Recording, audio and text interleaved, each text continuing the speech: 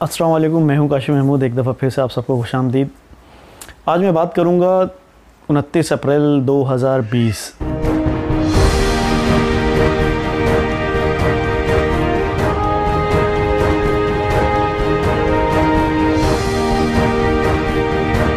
انتیس اپریل دو ہزار بیس کے حوالے سے بہت ساری خبریں گردش کر رہی ہیں۔ کیا ہماری دنیا انتیس اپریل دو ہزار بیس کو ختم ہونے والی ہے؟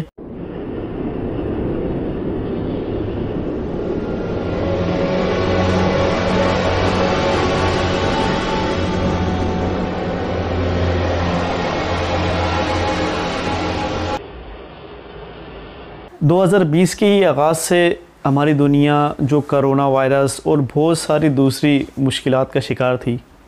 مزید اس کے اوپر ایک اور خبر انتیس اپریل دو ہزار بیس کو کوئی ایسٹرائڈ ہے جو کہ زمین سے ٹکرانے والا ہے۔ آج اس کے اوپر بات کریں گے۔ پہلے میں یہ بتاتا چلوں کہ ایسٹرائڈ ہوتے ہی کیا ہیں۔ یہ مردہ ستارے کے وہ بقایا جات ہوتے ہیں جو کہ خلا کے اندر گھومتے رہتے ہیں۔ جب کوئی ستارہ مردہ ہو کے ٹوٹ جاتا ہے، بکھر جاتا ہے، تو اس کی بہت بڑی بڑی چٹانیں وہ خلا میں پھرنا شروع کر دیتی ہیں۔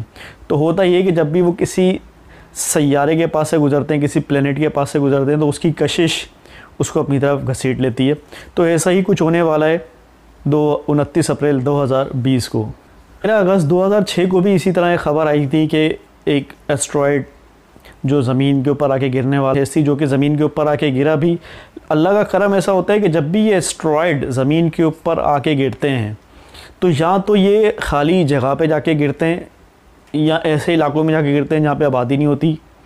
اور دوسری بڑی بات یہ کہ اللہ تعالیٰ نے ایسا نظام رکھا ہے کہ زمین کے اوپر پہنچنے سے پہلے ہی ان کی سپیڈ سلو ہو جاتی ہے اور دوسرا اگر اسپیڈ سلو ہوتے ہوتے ان کے اندر آگ لگ جاتی ہے اور یہ جل کے راکھ ہو جاتے ہیں اور زمین کے اوپر گرتے بھی ہیں تو اتنا زیادہ نقصان نہیں ہوتا، کیونکہ اللہ کا حکم نہیں ہے۔ اگست دو ہزار چھ کو اسی طرح ایک ایسٹرائڈ جو نو فٹ لمبا اور نو فٹ چوڑا تھا اور جس کی ہائٹ صرف تین فٹ تھی، لیکن اس کا وزن چھیاسٹھ ٹن سکسٹی سکس ٹن تھا، وہ زمین پر آ کے گرا اور اس سے کوئی زیادہ نقصان نہیں ہوا تھا۔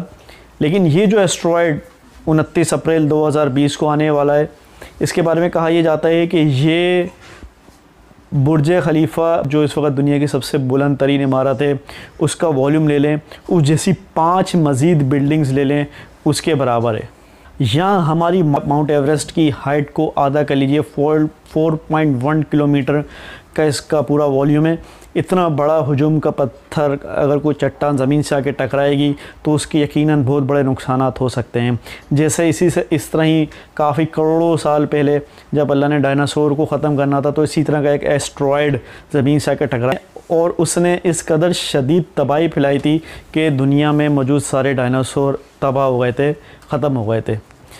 تو یہ جو ایسٹرائڈ آ رہا ہے، انتیس اپریل دو ہزار بیس، اس کا نام ہے nineteen ninety eight O R two اصل میں ناسا کے سائنسدانوں نے نائنٹین نائنٹی ایٹ سے ہی اس کے اوپر نظر رکھی ہوئی تھی کہ یہ کیا کر رہا ہے اور کس طریقے سے، کیونکہ زمین کے قریب تھا یہ، اس وجہ سے اس کے اوپر نظر رکھی تھی اور اس طریقے سے بہت سارے اسٹرائڈ ہیں جو خلا میں گھوم رہے ہوتے ہیں، سائنسدانوں نے اس کے اوپر نظر رکھی ہوتی تاکہ انسان، اگر یہ زمین کے اوپر گریں تو اس سے پہلے ہی اس کے بچاؤ کا کچھ عمل کر لیں۔ تو اصل میں حقیقت یہ ہے کہ یہ جس کی اسپیڈ ایک مہینہ پہلے تک اکتیس ہزار کلومیٹر پر آور تھی، مزید ابھی بڑھ کر چون ہزار کلومیٹر پر آور تک چلی گئی ہے اور مزید اس کی اسپیڈ بڑھ رہی ہے۔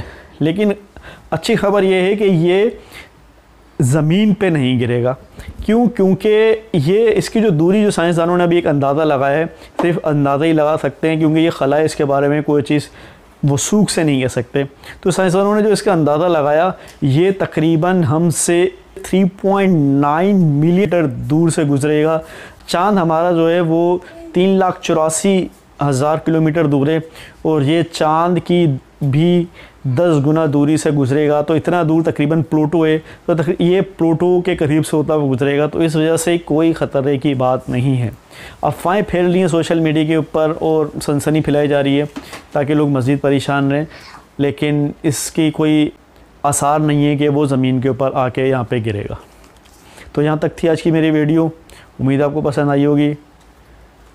لائک کیجیے، شیئر کیجیے، سبسکرائب کیجیے میرا چینل۔ اور کمنٹ کر کے بتائیے. Thank you for watching my video اللہ حافظ.